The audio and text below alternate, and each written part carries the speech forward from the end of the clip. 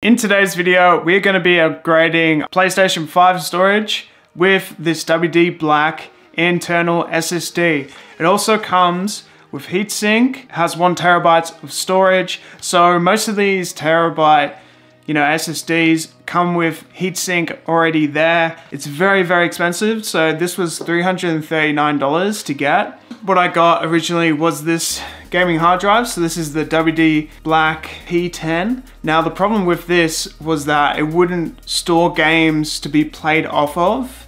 And plus you have to always keep it connected. And there was a few issues there with just having internal storage or as with the PlayStation 5.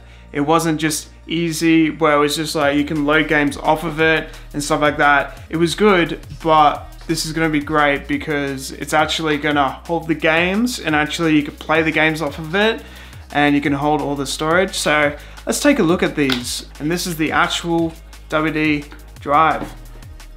Interesting. So that's how it looks.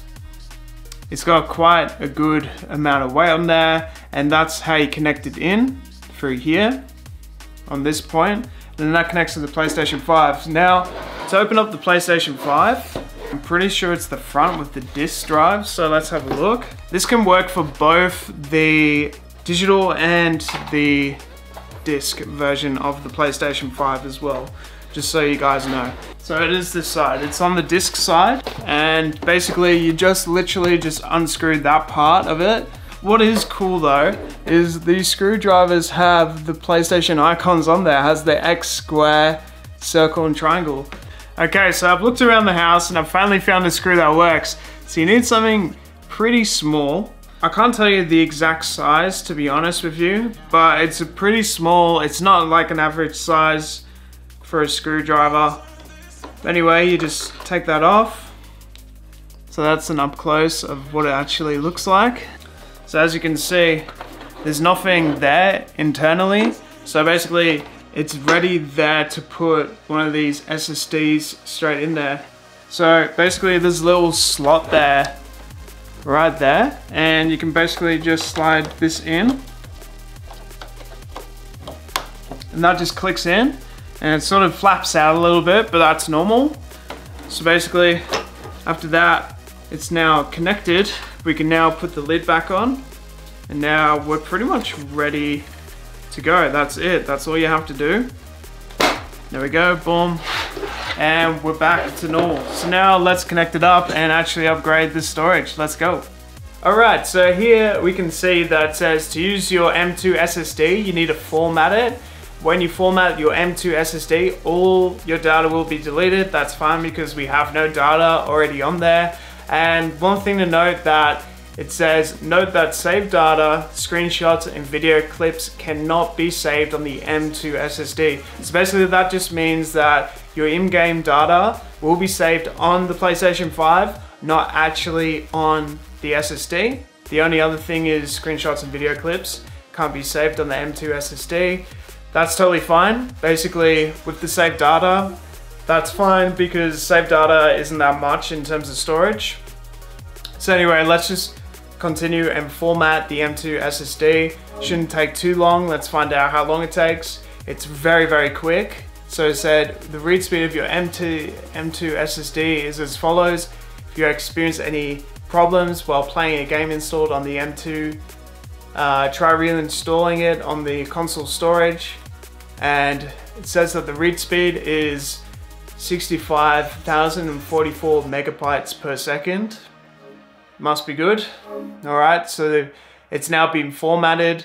So to change where your games are installed, go to settings, storage, installation, location. To safely remove your M2 SSD, turn off your PlayStation 5 first. So you can unplug it. You just need to turn it off first and everything. But you can unplug it once it's installed.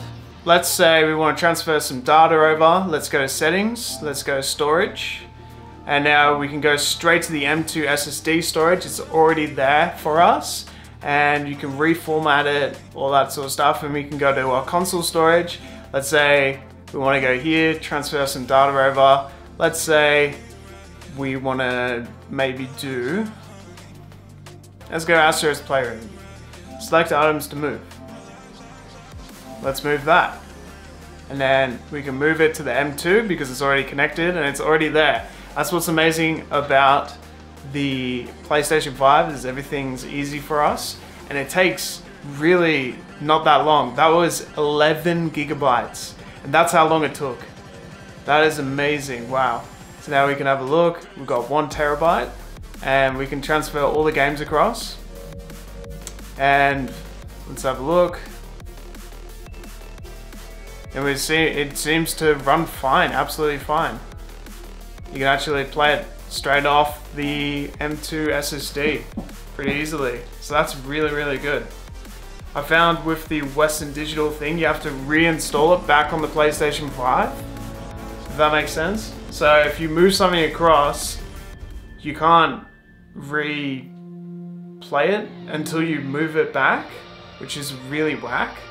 So yeah, this works perfectly it's fine. Has all the saved data already there. And we can continue where we last were, I guess, in the in the game. And continue.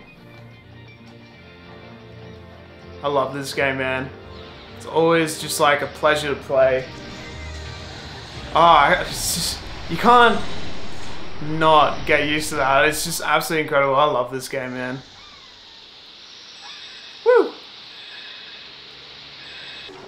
There's no lagging or anything. It just runs as normal. Looks as beautiful as always.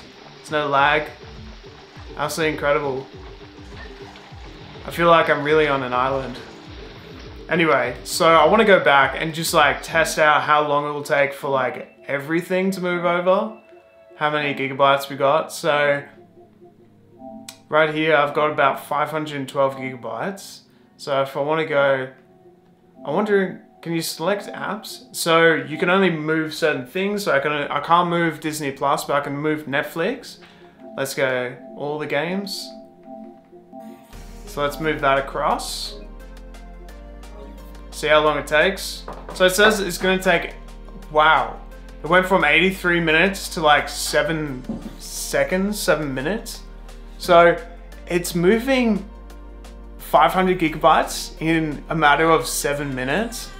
That's actually pretty insane. So I'm gonna just let that do its thing. I'm gonna let that move over and it just works as normal. It's absolutely incredible. Is it worth it? I think so. Like, it's really good. The fact that I can just move the game super fast, it's moving 500 gigabytes in like seven minutes. The fact that it's really easy to install is also really good. Man, it's saying 20 seconds, 27 seconds left. Are you joking? I'm impressed actually. But it's not really moving. What's going on? I don't know. Anyway, have yourselves a beautiful day, guys. Like and subscribe if you want to see more content like this, and I'll see you guys next time.